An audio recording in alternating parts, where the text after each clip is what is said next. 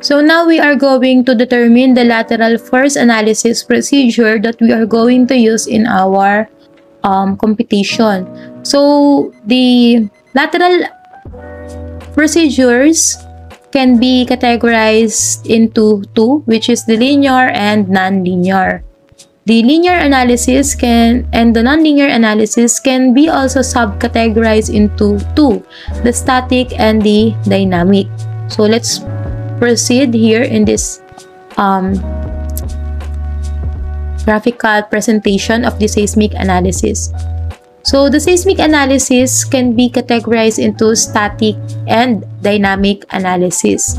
Okay, so static analysis here Static analysis and the seismic analysis can also be subcategorized into two, which is the linear and non-linear.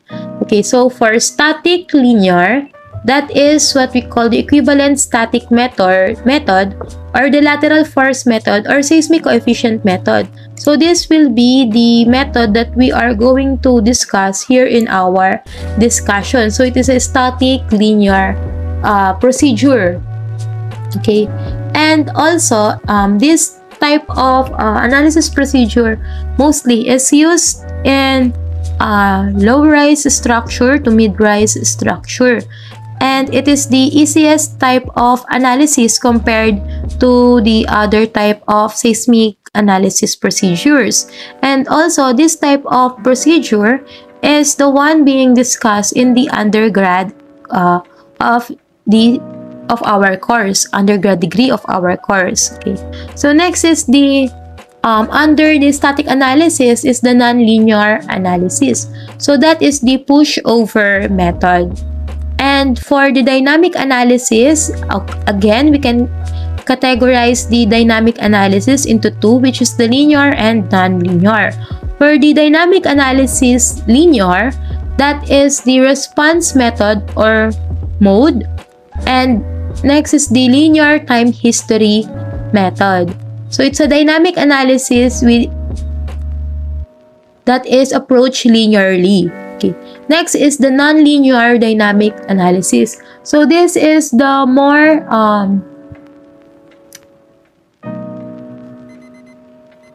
more difficult, uh, sorry, the most difficult uh, type of analysis in seismic analysis because it will need the help of a computer tool and also it will need um, more information or more um, earthquake ground motion okay data to conduct this type of uh, this type of analysis.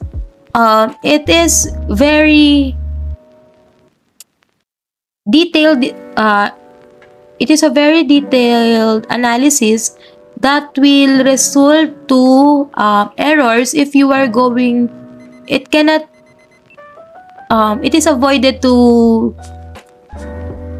do this manually um, we have to use a computer tool to uh, do this type of analysis because of the thousands of data that you will need okay so for dynamic and nonlinear, for dynamic nonlinear analysis, it includes three, ay four, four types of analysis. The nonlinear time history method.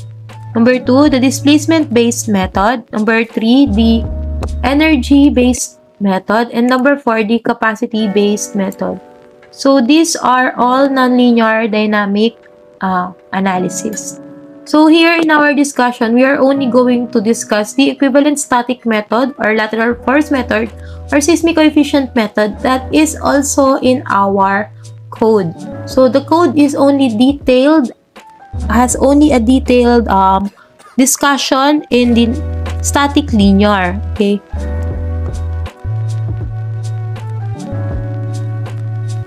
Okay.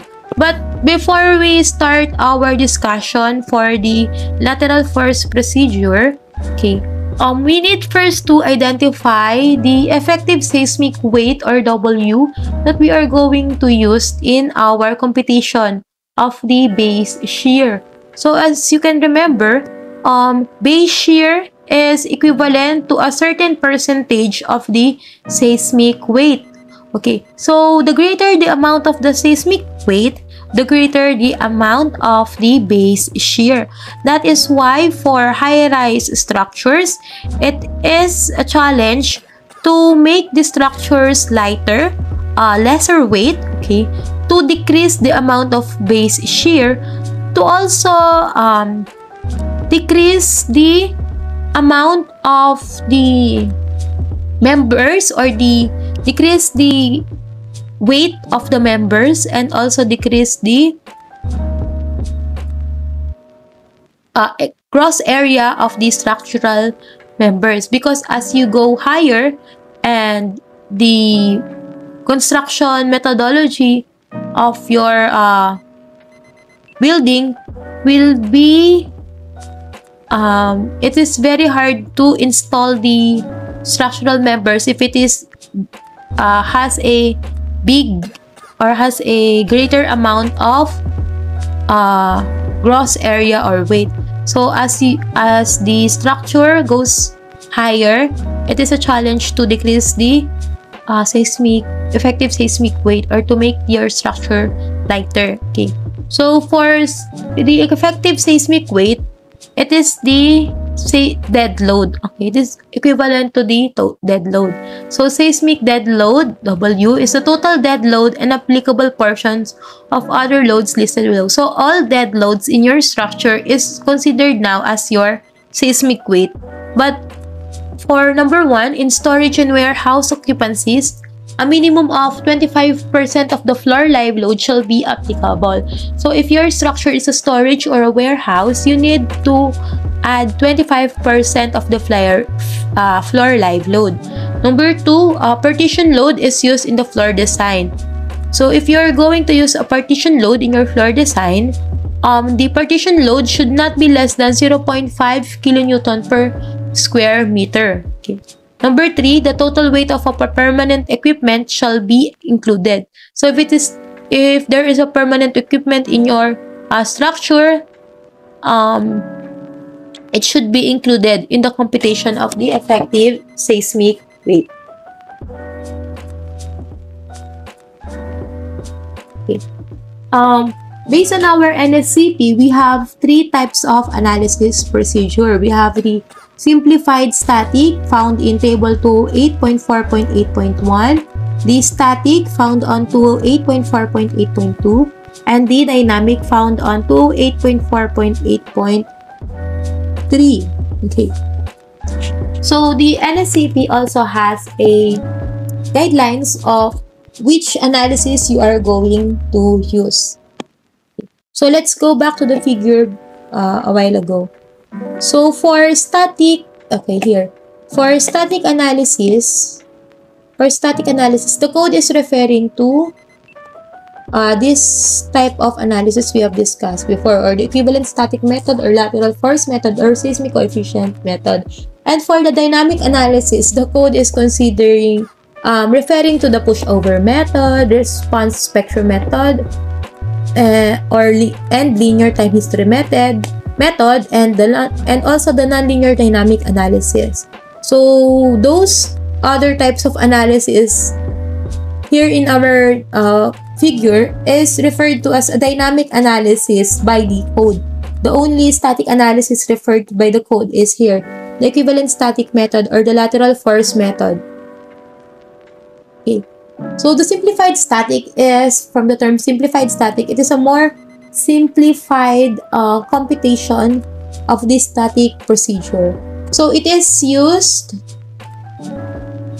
for structures of occupancy category 4 or 5. So buildings of any occupancy not more than 3 stories in height excluding basement that use light frame construction. So when you say light frame, um, it does not include the reinforced concrete construction.